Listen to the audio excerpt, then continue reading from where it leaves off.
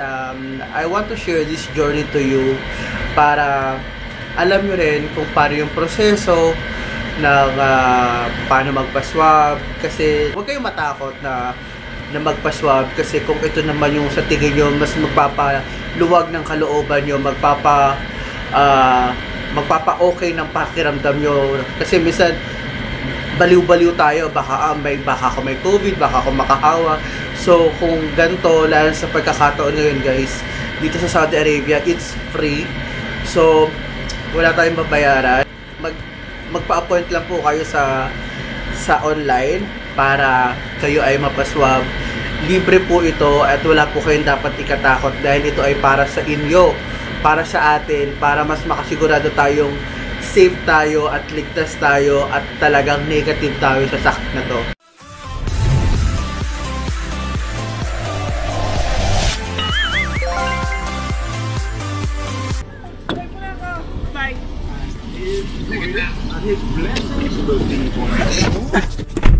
Kumusta? Mabuti! Grabe, kung kailan lang kailangan saka Eh, ganun talagang buhay. buti nga ikaw eh. Yung iba tinakul na kami. Okay lang dito ako. Pero si RJ, RJ si Kuya Jim. Ang magandang hapon. So ayun, punta muna tayong Bakala. Ah, ay, painamin mo Kasi oho na oho ka eh. Hello guys, so welcome back to my vlog and this is not a typical vlog kasi ngayon ay August Ano, 28 dito? And kami ay may pupuntahan. Anong bakala dito? Ayan Kuya Bakala. Saan? Ayun no. Saan? Ayun no. Ito? Oo. Hindi ka pa nakain? Kagigising na. kagigising mo lang no? Sabi ko na hindi nag-reply. So by the way guys, I want you to meet Kuya Buknoy, si Kuya Jim. He's my friend for how many years na? 10 years na ata, no? Halos. Almost 10 years. Oh yeah, 2010, 2009 ata tayo una nag-meet. Pero mula nung nandito na ako sa Jeddah, kung saan malapit kami sa isa't isa, wala na siyang time. nung, nung mga nung mga unang year ko dito sa Saudi Arabia, Yes, siya yung una kong pinupuntahan kasi siya yung nandito na siya, tapos si Mark. To make the story short, kung kailan lang, ngayon lang ulit. Kung hindi siya padala, nagka-problema, sa padala na pipila, doon na lang si kuya nagpaparamdam sa akin. Tapos ngayon na lang ulit, gawa ka ng kailangan na kailangan natin. Kasi Meron dan dyan. meron, meron. So yun, bali ngayon guys, magpapa-swab test kami. Ma-experience niyo din ang magpa-swab test. Pero sa bibig lang naman yun, di ba? Oo, sa bibig lang. Say, ah... Alang. Paano, para practicein ko na guys kung paano ko mag-aa. Siyempre hindi kayo kasama sa vlog.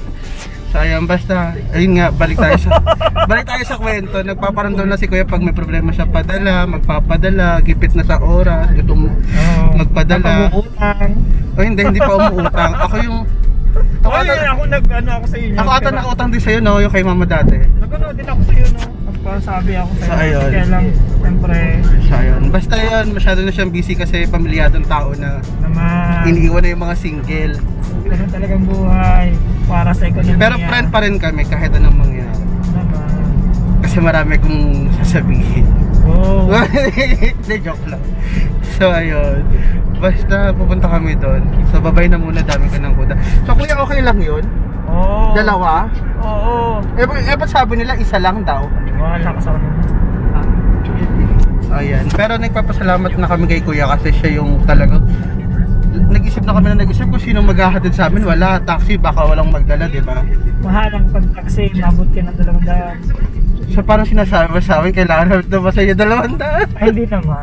Kumbaga, mas mahal ang taxi kaysa sa dito. Grabe. so, ayun na. So, para singilan, sa pamilya.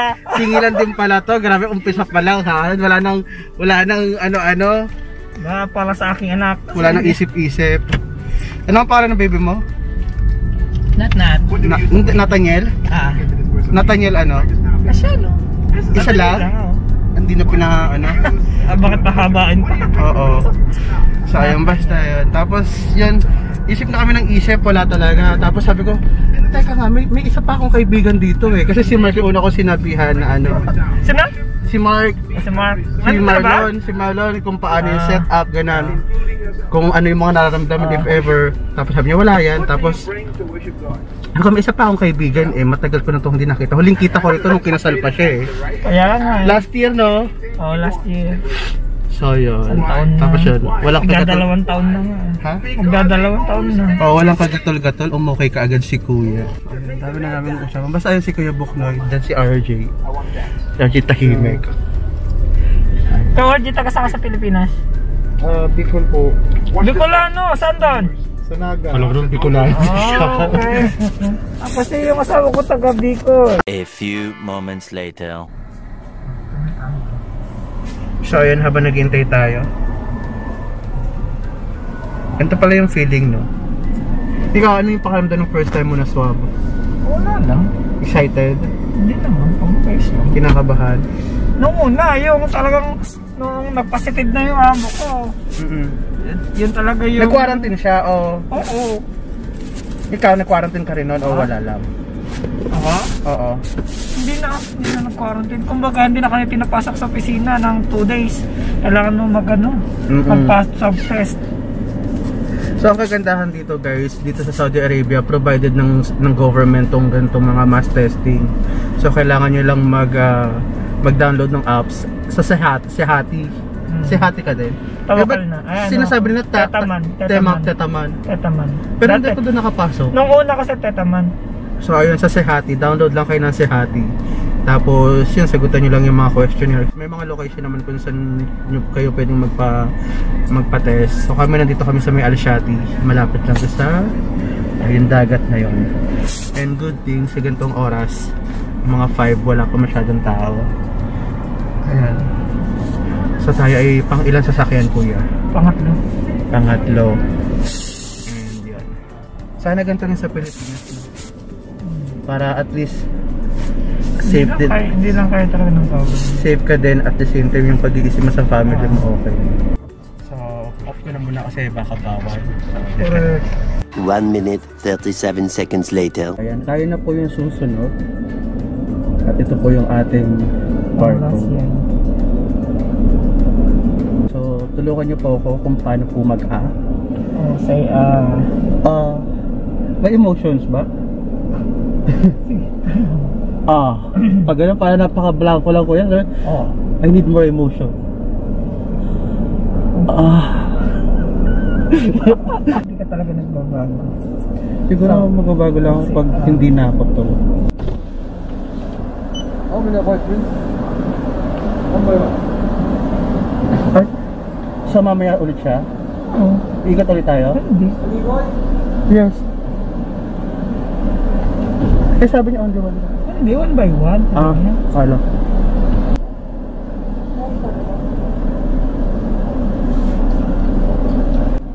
No problem, I'll take, the- I'll take camera for him, ah. Ah? Ah, first. Hmm. Hanggang outside. Hanggang outside, please. Syukran.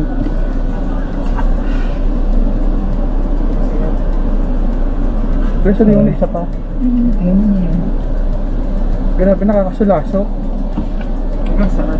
Parang, parang may iyak ka.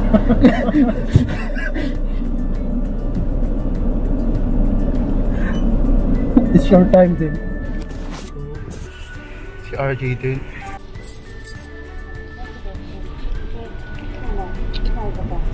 Inside lang, inside. ah, to.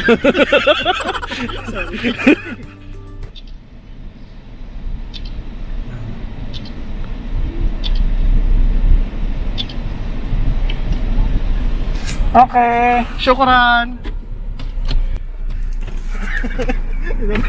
Finish? Okay, thank you. Syukran sister! Mali. so, grabe yung experience. Yung pala pinapapasok niya yung ulo. Ako naman. Natakot siya sa dila, sabi ang lapad. Nilalapit ko yung mukha ko sa kanya. Sabi isa isa ka. so ayun, tapos na po kami and hopefully after 2 days, sana okay naman po. Para hopefully okay. Para okay, okay lahat ang ekonomiya. Na RJ. So ayun. Thank you kuya. Hapon! Ako na, hindi sinabi magkano. Ah, salamat. Yun. So, ayan, pauwi na po kami. Ganun lang. Alam mo yun, yung ilang minuto lang, pero parang yung, yung kaba mo. Kasi, iba yung, iba yung pwedeng mangyari eh. Iba yung pwedeng maging resulta nung, nung, nung test na yun eh, no? 24 hours later. Hello guys, again welcome back to my vlog and for today it's been 24 hours since we have our uh, COVID uh, swab test yesterday. Tagalog lang tayo. Check natin yung atin. Ayan po, kitang-kita nyo, medyo nanginginig pa ako. And thank you, maraming maraming salamat po kasi wala po tayong COVID which is safe po tayo and negative po tayo for for everything na makakakos sa atin ng COVID. And ayan, pasensya na po. Nandito po tayo sa ating room wherein we, I isolate myself. Then yung pakiramdam na na-relieve ka sa posibilidad na magkaroon ka ng COVID and good thing ayan po, ito po yung sabi. So based on laboratory result it was found that you do not currently have an active COVID-19 infection. Meanwhile, So ngayon, ah, bali naka 24 hours na since na nagkaroon tayo ng swab testing kahapon doon sa may Alshati. So isa itong drive-through ah, testing, swab testing na kinokonduct ng Saudi government para sa mga citizen dito, sa mga resident dito sa Saudi Arabia. Kung nais nila magpa-swab test, punta lang doon, magpa-appointment sa Sihati. At ito ay free. Ah, 24 hours din akong hindi masyado mapakali kasi syempre, di ba, after swab testing, ay isipin mo kung ano yung resulta and nakakapraning siya sa totoo lang. At ngayon lang, ngayon lang ako naka, nakapraning ng ganito sa pag-iintay ng result. Kasi dito pag nagpa-swab test ka usually um, it takes 24 hours for you to know kung ikaw ba ay positive o hindi. And itong buong sitwasyon na to um, hindi ko sinabi syempre sa sa family ko sa Pilipinas. Hindi ako nagsabi sa sa parents ko na magpapaswab test ako kasi syempre ayoko ayokong mag-alala sila kasi alam mo yun pag syempre pag ginag, sinabi mo magpapaswab test ka isipin na nila o mag-worry sila na baka mamaya yung result is hindi maganda. So pati sila ma-stress. So sa yung gantong sitwasyon hindi ko sila in-inform. Parang wala lang, papaswab test lang ako para alam ko kung ano ba talaga yung, yung status ng health ko, kung okay ba o hindi. And good thing po, ayan, salamat po sa Diyos, ah, hindi po ako positive sa COVID and yun.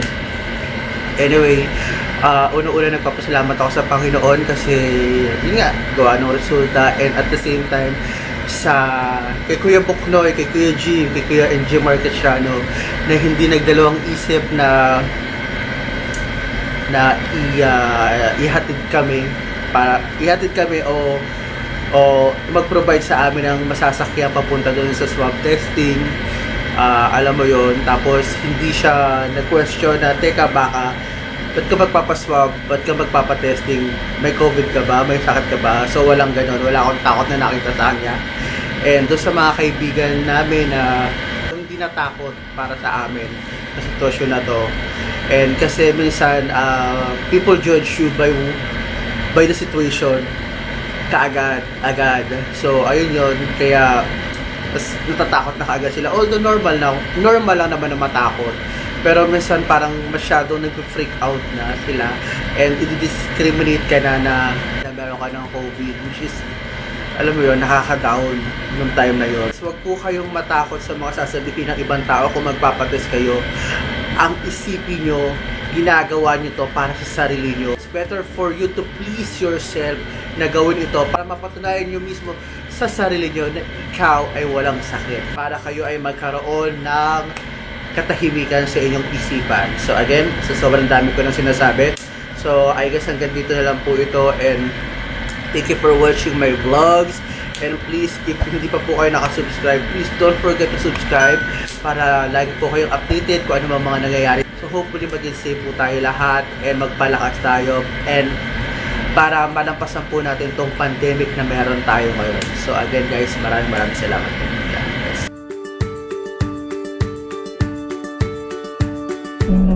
Hindi na magkasa ang face mask. Grabe kuya. Tahimik ka na, di ba? Kuya, huwag mo naman ako pahiyain. Ngayon ko lang iginano ng mukha ko. Hindi na ako na-respetuhin ah. Kaya mo lang napansin. Ngayon ko lang napansin na hindi na magkasya ang face mask. Kuya, yung... Ang dali nga makapag-deliver na nga ng extra large. Anong ginawa mo? Yung tuloy. Ako na! Video. Kuya, masyado lang ano yung ano, yung mask. Hindi na raw kasya. Extra small lang yung nabili. Baka extra large na yan. Grabe kuya. Kasi di ba yung face mask dapat hanggang dito?